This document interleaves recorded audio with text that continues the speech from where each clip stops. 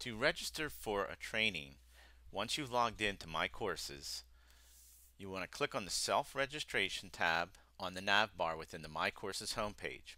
You should note that if you've gone into a course, you will need to navigate back to the My Courses homepage in order to see the Self-Registration tab.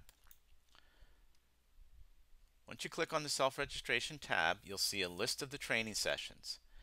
You're going to click on the name of a training session you wish to register. You'll be able to read a description of the training. Note, if you do not wish to register, click the Cancel button. To register, click the Register button. Click the Submit button. Click the Finish button. A registration summary page will display. You'll also get an email confirmation.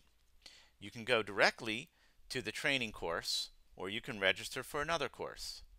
If you click Done, you'll be taken back to the My Courses homepage.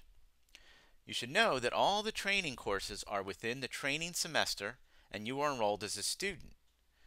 So depending on how you have your filter on the My Courses widget, you may need to change the role and the semester items. So again, my I'm in as a student and I'm in the training semester and there are my courses that I have registered for. These are all self-paced. You can go in, do them anytime you want, complete them at any time you wish.